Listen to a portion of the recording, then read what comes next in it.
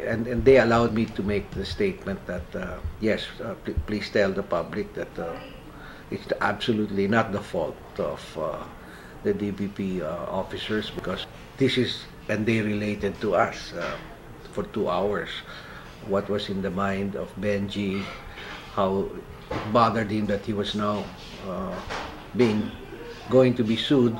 And in, he was not sued at all. He was not even included because wala siya kasalanan eh. He just felt that his friends would ostracize him, kung mga kasamahan niya doon would ostracize him kasi they all promised to bunch together. Uh, and then he executed an affidavit to clear his name uh, because of his family, no? Uh, so he was just in uh, emotional turmoil. Did he feel that um, the transaction was wrong? He obviously felt that there was something wrong because he was complaining to his wife about the the waivers. And the, you know there were 10 waivers no? Daming waivers eh ganun. He was bothered nga because he felt that he at the same time Benji felt that I covered up when I didn't object to so many waivers because that was not standard whenever we grant loans.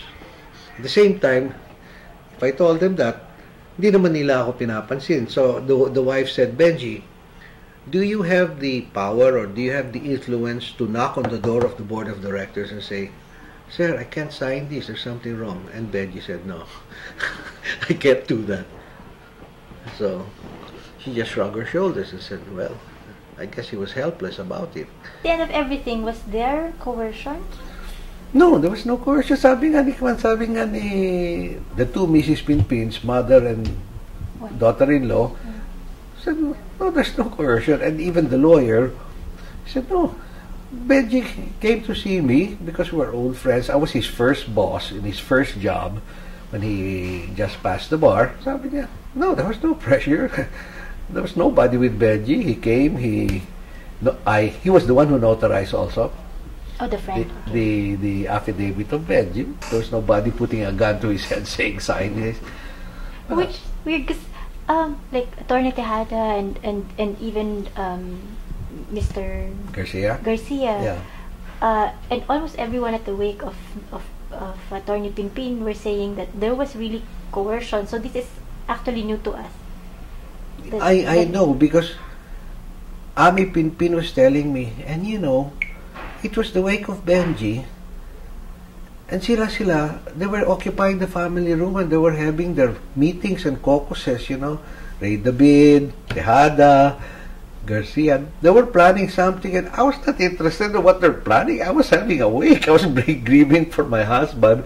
And finally, one of the sisters, Sheila, told them, can you please do this elsewhere? Um, wasn't there a case also filed by by Mr. Garcia? Yeah, Bong, uh, Bong Garcia, he was inside. Uh, he filed like harassment.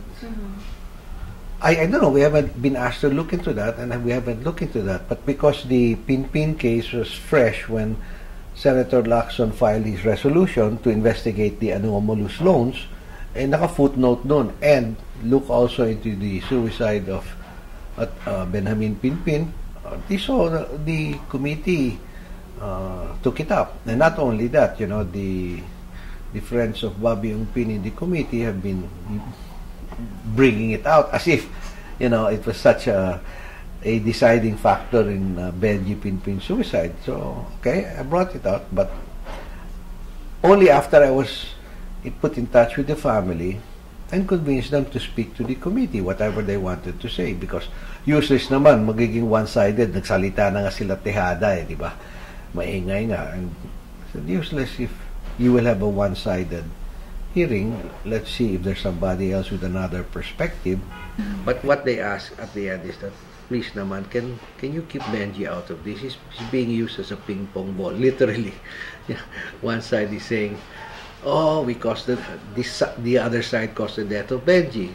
The, the other side really didn't want to bring Benji into the debate, so they've more or less been keeping quiet, but they feel it's not fair naman that we're being unfairly accused. So the family came out and volunteered, which is very nice of them.